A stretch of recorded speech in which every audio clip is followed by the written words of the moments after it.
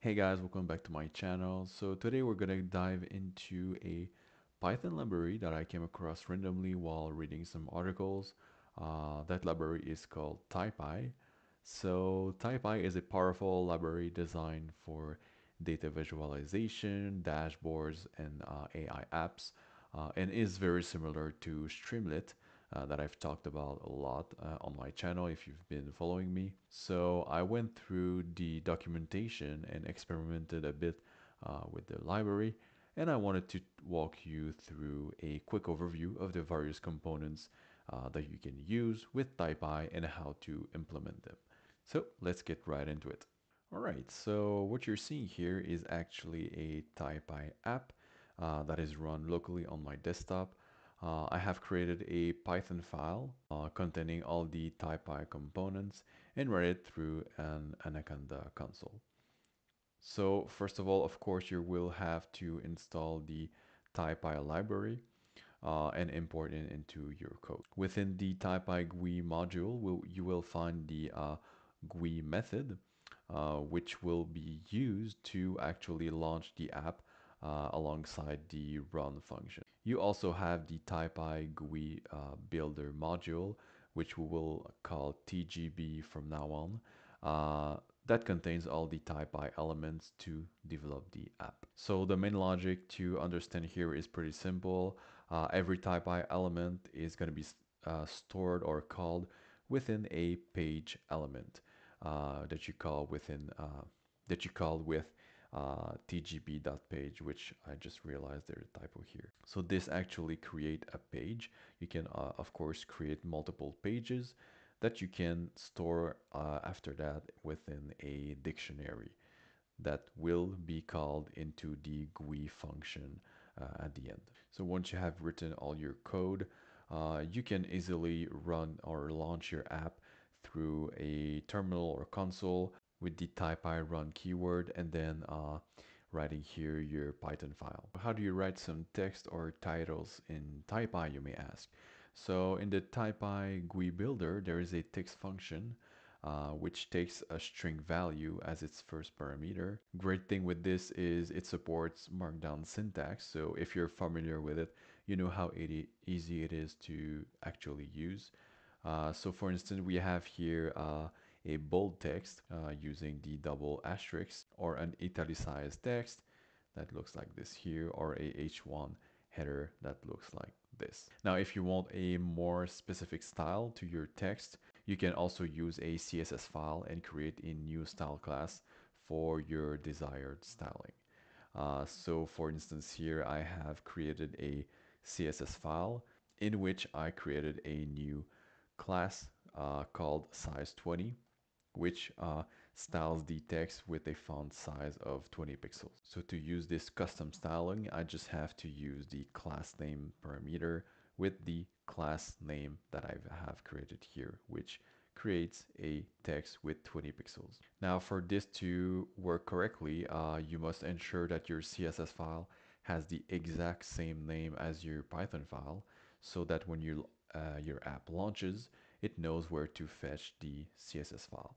So if your file has the myPython file uh, name, you, you, must have the myPythonFile.css uh, name for your CSS file. So here I have a, another example of a new class that colors the text into yellow and I use it uh, like so here in the class name parameter.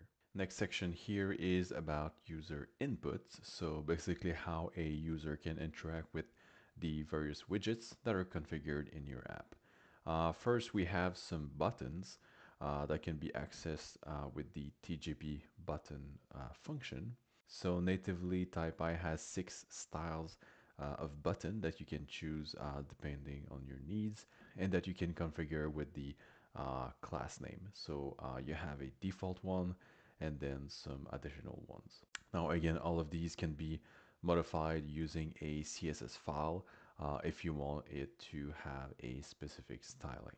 As for value inputs, uh, there are four types of filters that you can use uh, and that work relatively uh, the same way. So you first have to initialize uh, a, a, new variable uh, for the widget. And then each time the user changes uh, the value of the input, um, the variable is updated with the newly changed value. So we have uh, a number input, a text input. You also have dates uh, and a date range. We also have a wide range of selectors uh, that go from uh, segmented buttons that look like this, uh, toggles, sliders, uh, drop down menu, checkbox, radio buttons, and the classic selection box.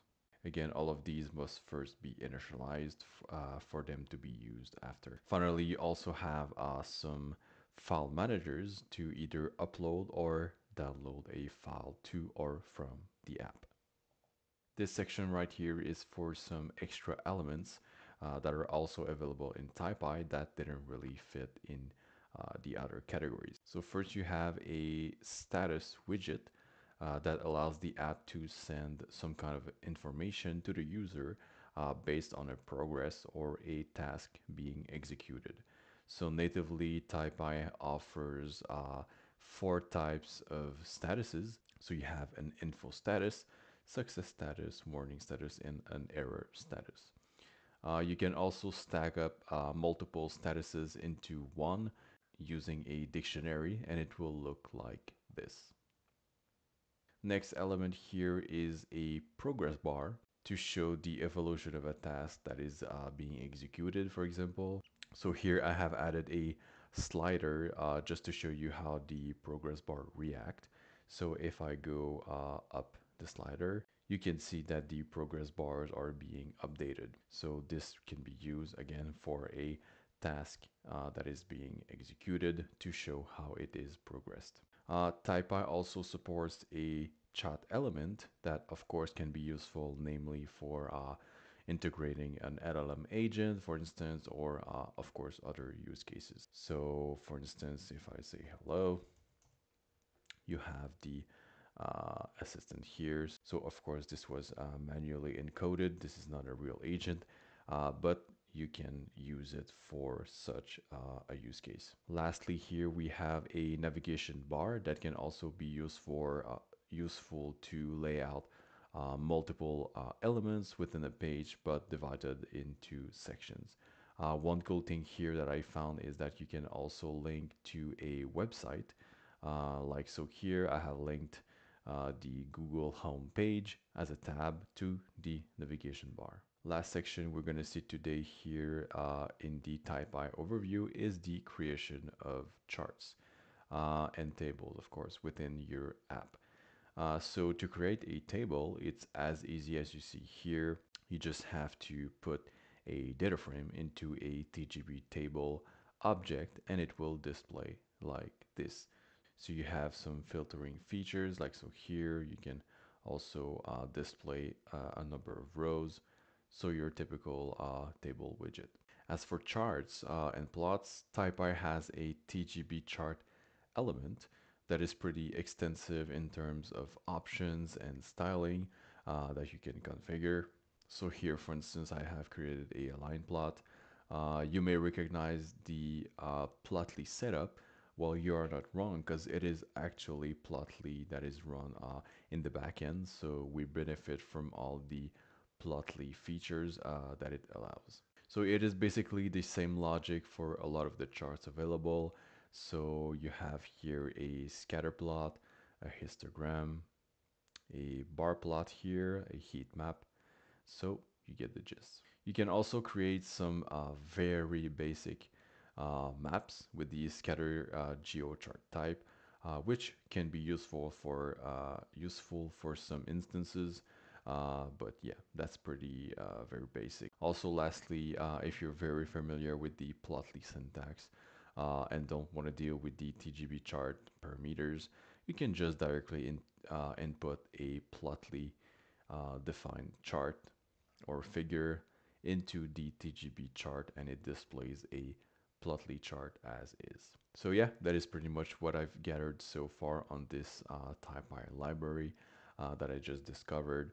Uh, I feel like uh, a lot of the features are pretty similar to Streamlit, Uh, for now, I wouldn't necessarily have a good reason to switch from Streamlit to Taipy, uh, but I guess it's always nice to have some uh, alternatives. Of course, I haven't explored all of the features that I've that are available in Taipy, so I may uh, change my mind. Uh, also, apparently, Taipy is very good when dealing with large data sets, which uh, Streamlits, uh, Streamlits sometimes underperforms. So I might test out and compare uh, performances between both and see if this is true. But for now, that'll be it for today. Uh, I hope you guys enjoyed this video, and if you did, make sure to like, share, and subscribe, and I'll see you in my next one. Bye, guys.